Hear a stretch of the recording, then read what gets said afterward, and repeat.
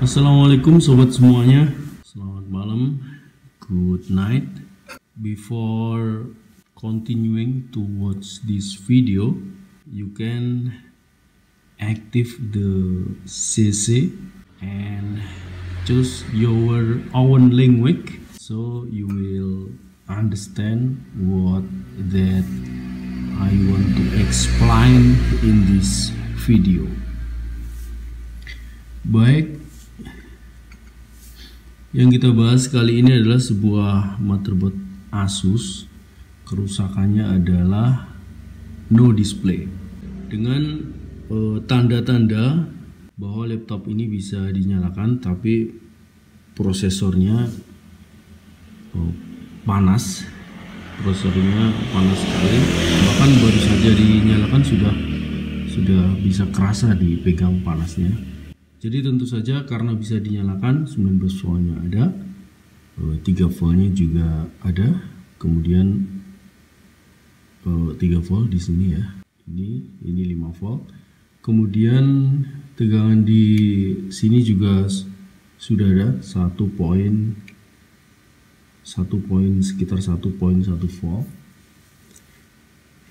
Nah, masalah mulai kelihatan pada jalur 1,8 volt. Jadi 1.8 VS ya kodenya. Jadi ini jalur tegangan di mana pada jalur ini tegangan akan muncul setelah uh, tombol power dinyalakan. Jadi pada motherboard Asus X 200 mA ini tegangan 1.8 VS 1.8 Vesus ya maksud saya.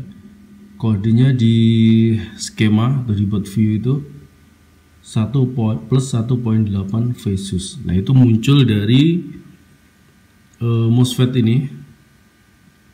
Sumbernya dari tegangan 3 volt.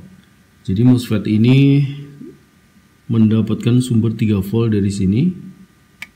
Kemudian diturunkan step down menjadi 1.8 volt di di kaki ini ya ke sini. Jadi di blok ini terdapat tegangan 1.8 volt pada kondisi normal. Namun pada motherboard ini 1,8 volt di sini tidak muncul muncul cuma drop hanya 0.16 volt jadi ini tentu menyebabkan uh, motherboard tidak bisa bekerja, tidak bisa display. Kenapa? Karena tegangan satu volt ini dikirim ke ke chipset ini, prosesor. Jadi itu sumber masalahnya.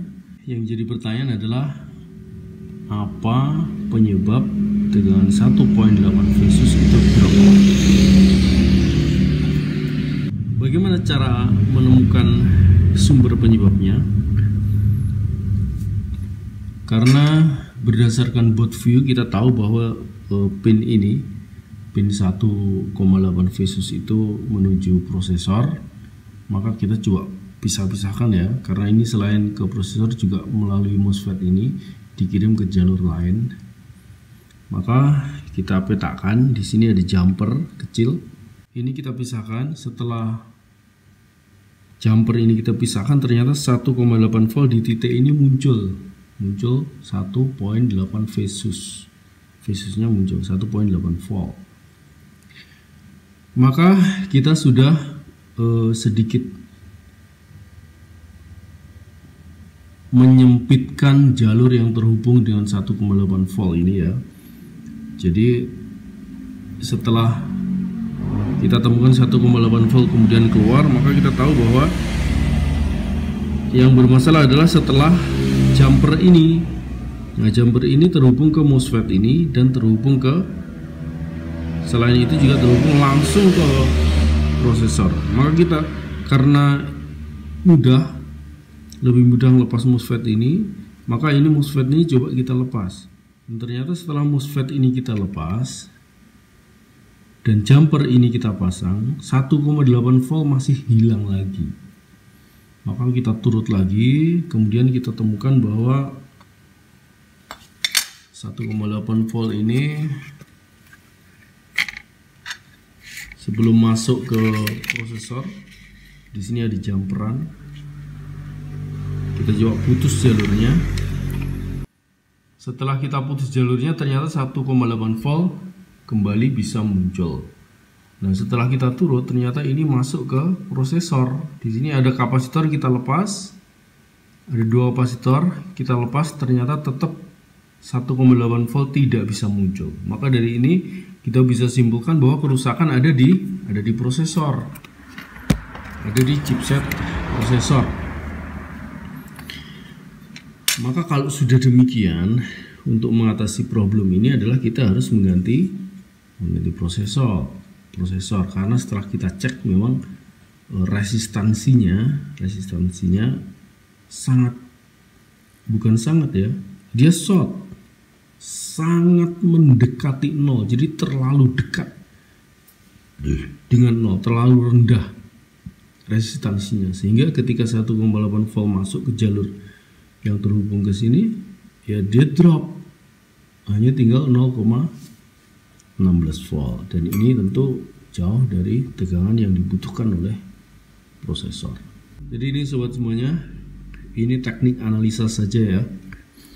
Itu cara menemukan sumber masalah pada jalur 1,8 Vesus pada motherboard Asus X200 MA. Teknisnya untuk menemukan sumber masalah pada motherboard lain sama, cuma komponen-komponennya tentu berbeda-beda.